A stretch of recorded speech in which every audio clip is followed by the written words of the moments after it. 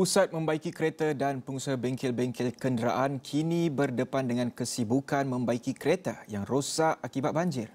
Menurut seorang pengurus bengkel kereta di Kuantan, Muhammad Azrul Zulkifli, dianggarkan penambahan hampir 40% kereta yang terkesan banjir akan dihantar ke bengkel-bengkel untuk dibaiki sekaligus memberi tekanan kepada mekanik.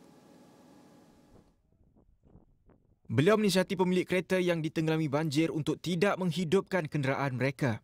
Sebaliknya, segera mengeluarkan bateri agar tidak menambah kerosakan terutama kepada komponen elektronik.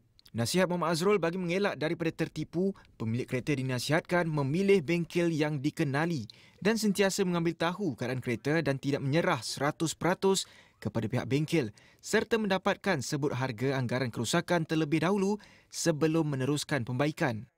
Kalau kita hantar kereta untuk dibaiki, kita sekadar okay, tak apalah lepas kepada uh, mekanik saja. Macam tu saya rasa kurang okey lah. Kita kena keep in touch. Maksudnya sentiasa kita tanya apa perkembangan. Lepas tu ap, macam apa-apa masalah kita sebelum pada buat tu kalau boleh kita dapatkan quotation dulu ke. Ha, macam tu lah. Maknanya kita sentiasa kontak dengan kita punya uh, bengkel lah. Katanya bergantung kepada tahap kerosakan tetapi lazimnya sebuah kereta yang terkesan banjir akan mengambil masa kira-kira dua minggu untuk dibaiki dan kosnya boleh mencecah ribuan ringgit. Tambah Muhammad Azrul memang ada kemungkinan pengusaha bengkel cuba mengambil kesempatan mengenakan charge yang lebih tinggi namun dia menganggap perbuatan itu tidak patut kerana ia akan menambah kesusahan sedia ada kepada mangsa banjir. Apa yang kita repair kita kena jujur Maksudnya apa yang kita tukar kita tunjuk pada customer. Lepas tu quotation-quotation yang kita tunjuk pastikan customer dah setuju dulu. Lepas customer dah setuju barulah kita maksudnya kita terus proceed kepada untuk repair kereta dia orang.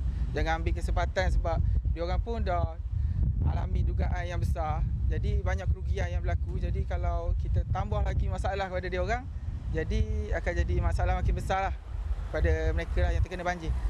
Baru beberapa hari banjir mula surut di Kuantan, bengkelnya sudah pun terima 10 buah kenderaan untuk dibaiki dan itu tidak termasuk kereta daripada pelanggan tetap. Bagi mempercepatkan kerja-kerja pembaikan, Muhammad Azrul menambah bilangan mekanik daripada cawangan lain yang tidak menerima kereta banjir supaya kerja-kerja pembaikan berjalan lancar dan lebih cepat disiapkan.